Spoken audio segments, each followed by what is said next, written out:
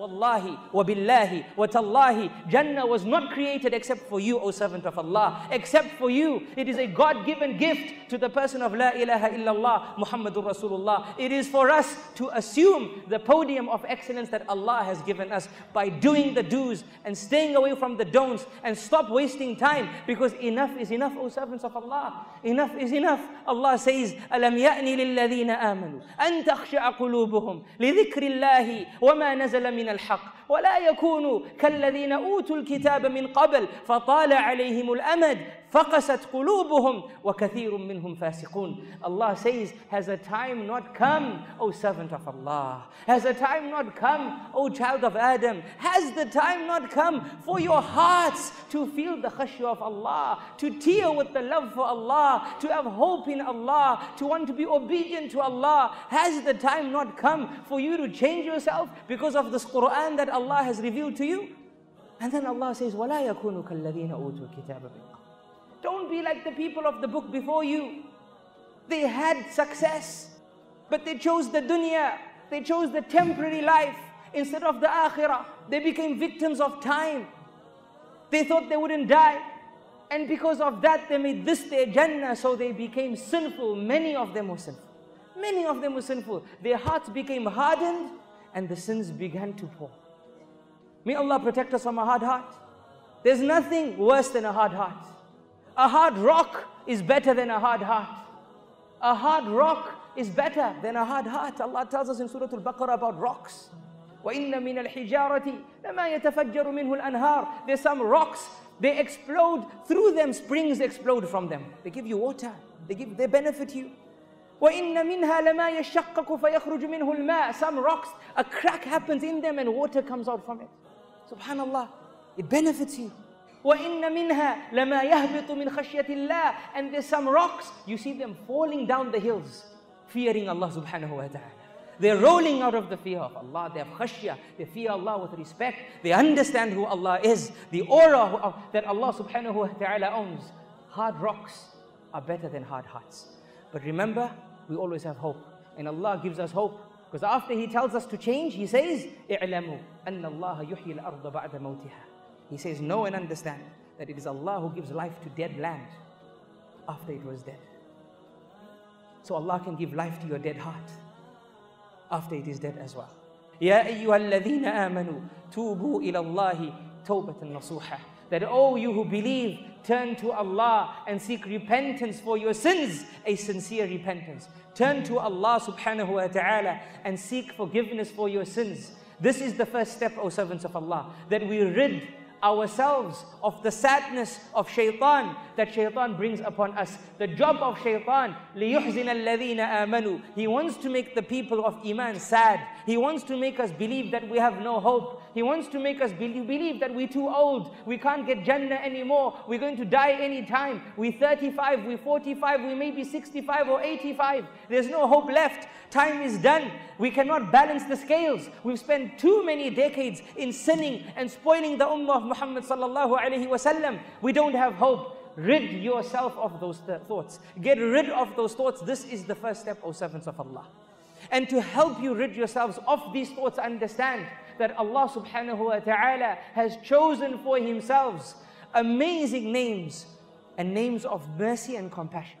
And not just one name, but names. For Allah subhanahu wa ta'ala is Al-Ghafir, and He is Al-Ghaffar, and He is Al-Ghafur, and He is Al-Tawwab, and He is Ar-Rahman, and He is Ar-Rahim, and He is Al-Bar, and He is Al-Afu, and He is, and He is, and He is Subhanahu wa Ta'ala. He has chosen for Himself many, many names of compassion and mercy so that you and I, we never lose hope in the mercy of Allah Subhanahu wa Ta'ala. That no matter what we've done, as long as we are breathing, we know we have a door to turn to and get to Allah subhanahu wa ta'ala and have our slates clean. O servants of Allah, for the Muslim who does one sin, Allah says He is Al-Ghafir, the one who forgives your sins.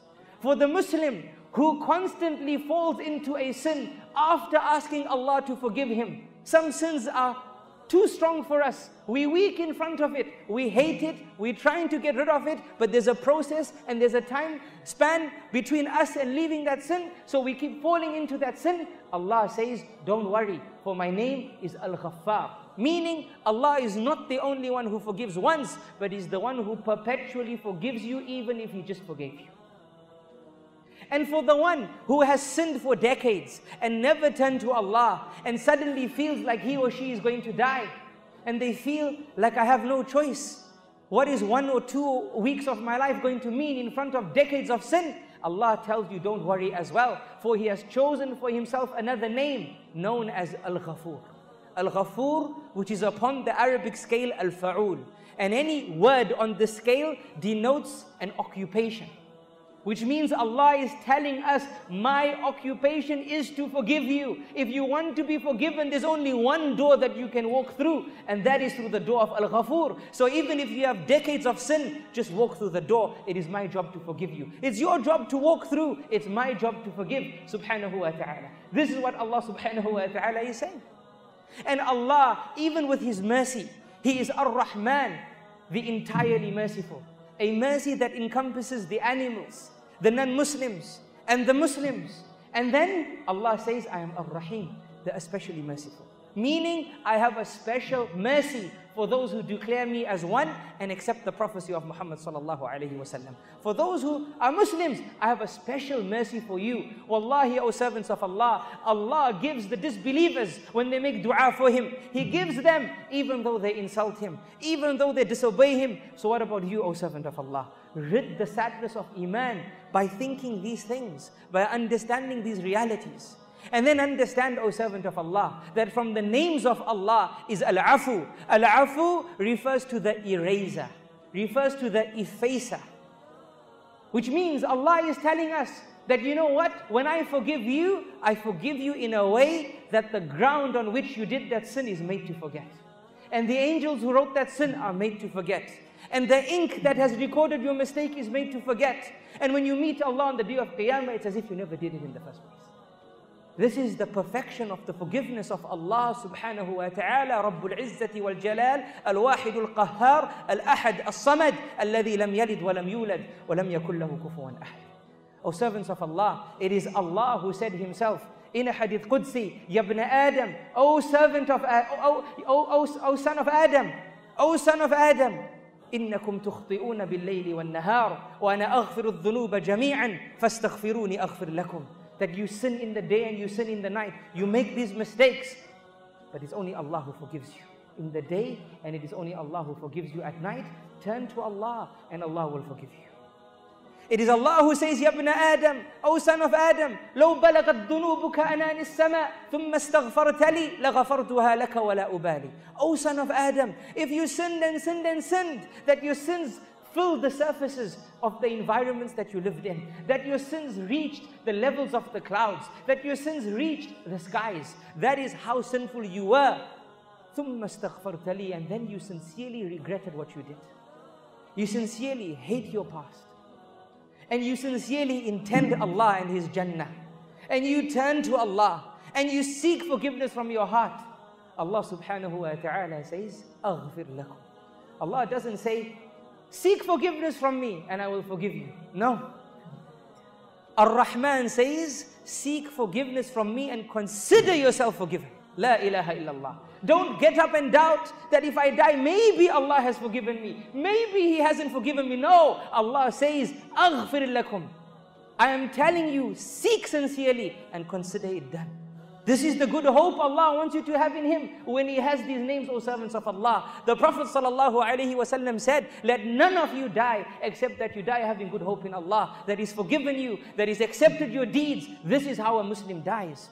Right? A Muslim is one who teaches other people to live in his dying. And he teaches other people how to die in his living. When he lives, he's attached to Allah. When he makes a mistake, he turns to Allah. And when he dies, he dies having good hope in Ar-Rahman, Ar-Rahim, subhanahu wa ta'ala.